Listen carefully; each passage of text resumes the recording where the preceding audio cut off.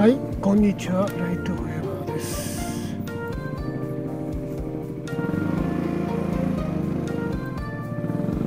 はい、今私はね、血縁寺に来ております。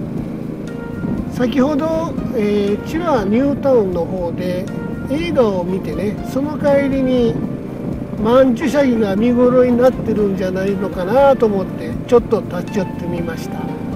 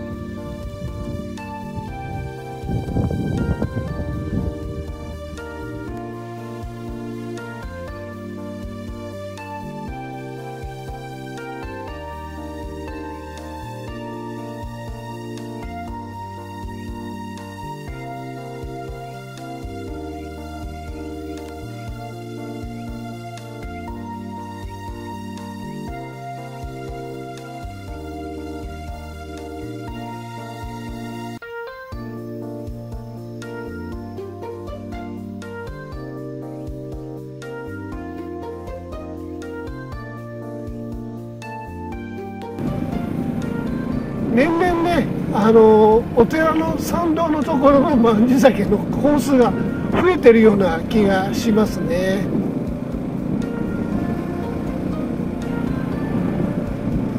近くでこんな素晴らしい景色があるっていうのがね、この千葉ニュータウンのいいところだと思います。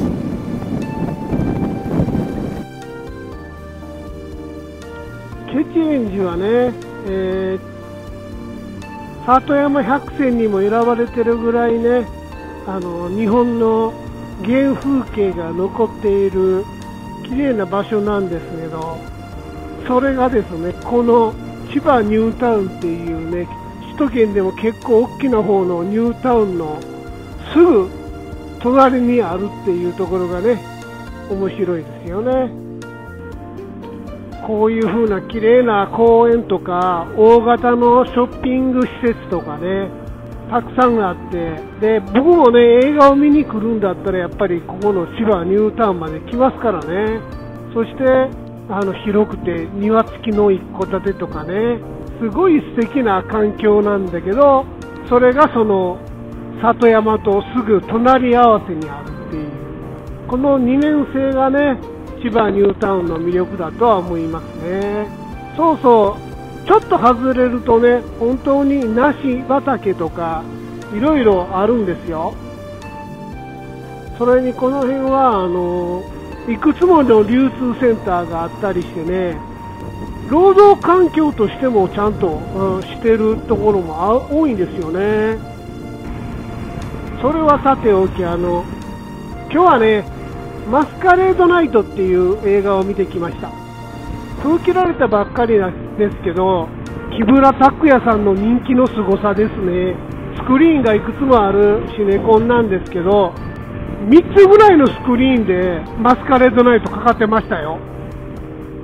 僕見たのは12時半の回なんですけど、その1時間前と、それから30分後にも、あの、スタートするっていうね。これはやっぱりあの、木村拓哉さんの人気があってのことなんだろうなと思いますけど、私の場合は木村拓哉さんというよりも、あの、原作の東野圭吾さんが好きなので、そちらからね、やっぱりちょっと豪華な映画を見たいなってスクリーンで見るなら、そういうこともあって、マスカレードナイトをこう見に行ったんですけども、まあ、私のような人もいてるとは思いますけど、それでも1つのシネコンで3つのスクリーンを占拠するっていうのはすごいことですよね。映画の方はね、豪華とホテルのまあセットですから、